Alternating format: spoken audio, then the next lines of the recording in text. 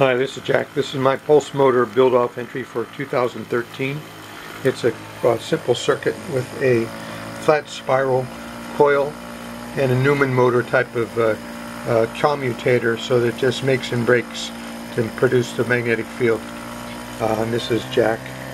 And then uh, that's all there is to it. There's a neoball rotor in there that fires away and, and spins. It's inside the little tape box there and here it goes.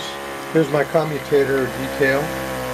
One is just uh, connected to the shaft on the plus 12 volts. The other one just spins the shaft. There's some tape on there with a break in the tape.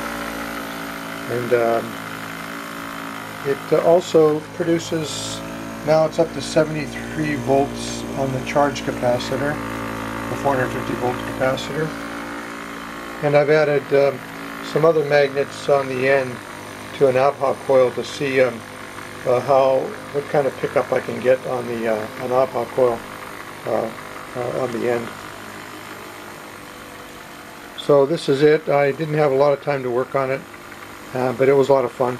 Here's my coils. We have the flat, sort of a, a regular coil and a flat spiral coil um, sandwich or sandwiched together on the side there. And my um, it's um, that's about all I need to say.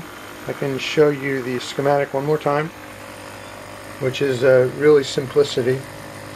And then uh, a final shot of my experiment. And uh, uh I'll fool around with the commutator a little bit to show you how.